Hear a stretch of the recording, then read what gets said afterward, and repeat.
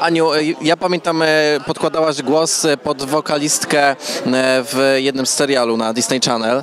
E, Nie ma to jak statek, coś takiego, czy nie ma to jak hotel. E, Także ja, ja pamiętam Ciebie już z tamtego momentu, jak śpiewałaś. e, No i tutaj e, wspaniały talent, wielki. Powiedz, czy Ty jakoś myślisz o tym, żeby właśnie wokalnie się rozwijać? Ja się rozwijam wokalnie cały czas. Nagrałam do tej pory trzy płyty.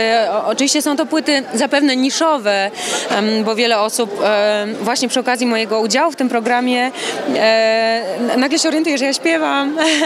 Bardzo lubię śpiewać, robię to od, od wielu lat i staram się rozwijać, staram się robić, e, brać udział w, w nowych projektach i w spektaklach muzycznych i em, jeżdżę ze swoim rec- recitalem i ze swoim koncertem.